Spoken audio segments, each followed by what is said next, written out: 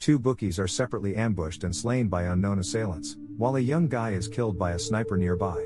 Smith approaches a young guy at a bus terminal and tells him about Max and the Kansas City Shuffle. Two decades ago, Max had borrowed money from the mob to gamble on a rigged horse race, only for the horse to die in the middle of the race.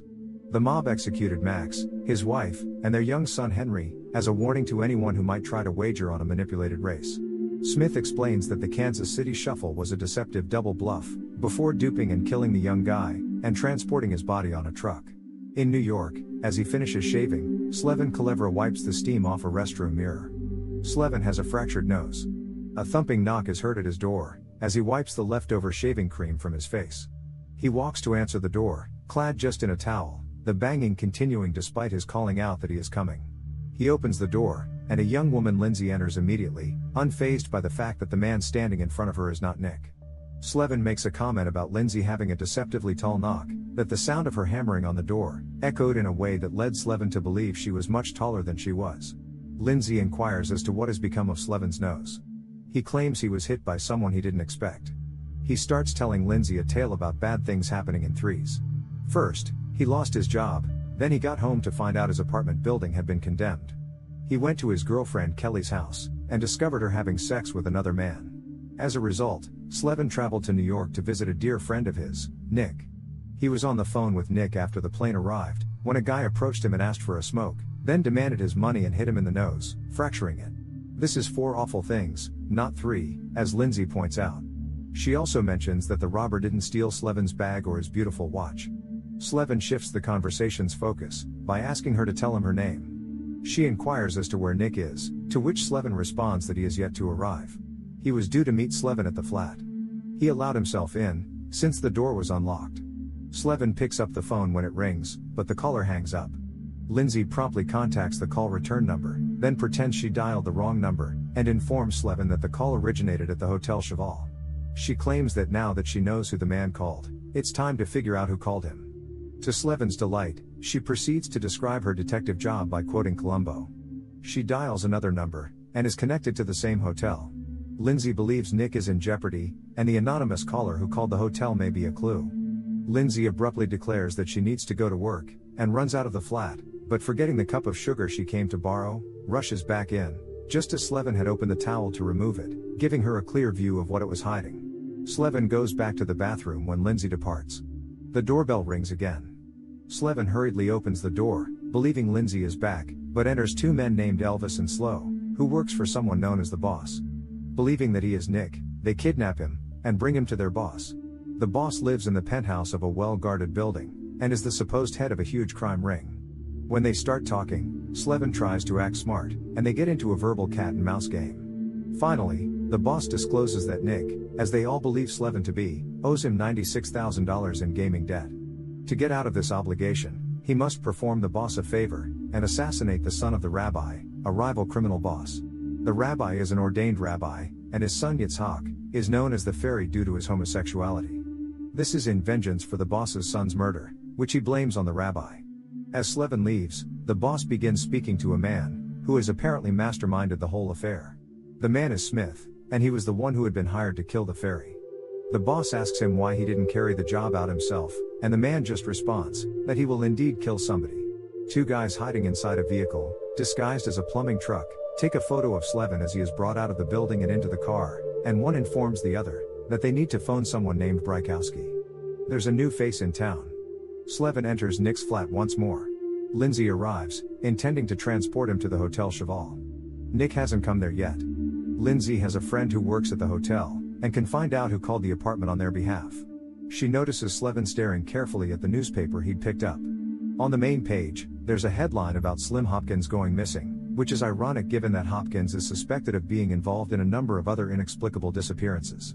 Slevin informs Lindsay that he met Slim, and that he was dead when they first met. Lindsay hears her phone ring in her apartment, and hurries to answer it, thinking it may be her hotel roommate. While waiting for her, Slevin begins to dress.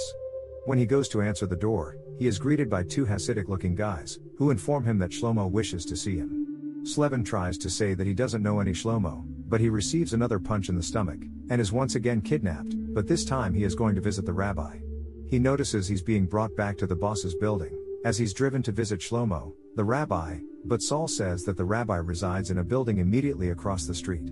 The rabbi and the boss were once partners, and even close friends, but one day they turned on one another, and attempted to murder each other, and neither has left the protection of their respective penthouses since. Slevin's interaction with the rabbi turns into another game of linguistic cat and mouse, with Slevin fearlessly responding to the rabbi. The rabbi ultimately tells Slevin that he owes him $33,000, as despite his objections, they believe Slevin is Nick Fisher. He has 48 hours to raise money by whatever means necessary. After Slevin is escorted away, the rabbi begins informing someone unseen that he's made half of a prearranged payment to the person's account in the Cayman Islands, and the other half would be paid after their old buddy is in the grave. When Smith appears, the rabbi inquires about Slevin. Smith just states that the youngster and he have some unfinished business. Later, Slevin informs the boss that he would assassinate the fairy.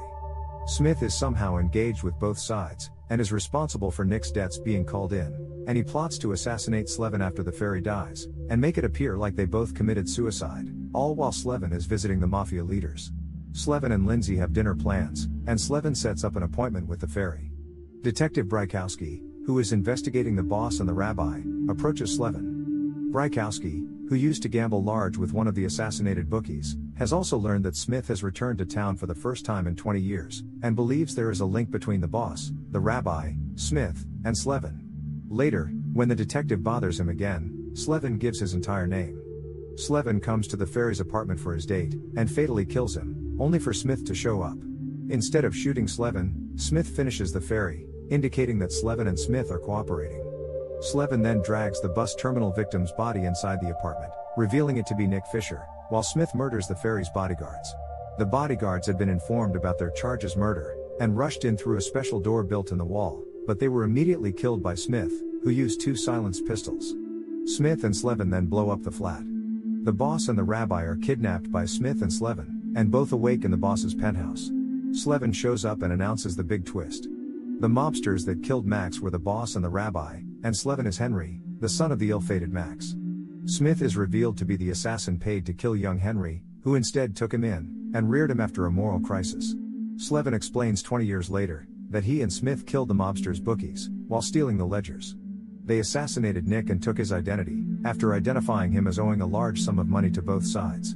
Then Slevin assassinated the boss's son, in order to persuade the boss to hire Smith, to assassinate the rabbi's son in retaliation. Under his Nick Fisher pseudonym, Smith acquired the boss's contract to murder the fairy and persuaded the rabbi that he would protect the fairy on the condition that they both call in Nick's debts, enabling Slevin and Smith unrestricted access to the well guarded mobsters. Slevin then suffocates the rabbi and the boss, by taping plastic bags over their heads, after disclosing his identity, murdering them in the same manner they killed his father. Smith shoots Lindsay to conceal his identity, as she had photographed him while investigating Nick's abduction. Brykowski receives a phone call from his boss, while on the lookout for Slevin, and discovers the origin of the alias Slevin Kelevra. Lucky number Slevin was the horse his father had bet on, and Kelevra is Hebrew for bad dog, which is similar to Smith's moniker. Brykowski murdered Slevin's mother 20 years ago, in order to pay off his gambling debts. As he hears this narrative, Brykowski accepts his fate, as Slevin emerges in Brykowski's backseat and shoots him, completing his masterpiece of retribution. Slevin is subsequently approached by Lindsay at the bus terminal, and it is revealed that Smith had told Slevin he had to murder Lindsay since she had a photograph of him. It's also revealed that Slevin disclosed his actual identity to Lindsay and assisted her in faking her death around the same time. Slevin explains to Smith, who is aware of the deception, that he had to save Lindsay and doesn't believe Smith would understand. Smith says he understands and agrees to leave Lindsay alone because he saved him as a child. Smith returns Slevin's father's old watch, before vanishing into the mob. The film jumps back 20 years to when Smith initially saved little Henry, they drive away, and Smith listens to Kansas City Shuffle on the radio.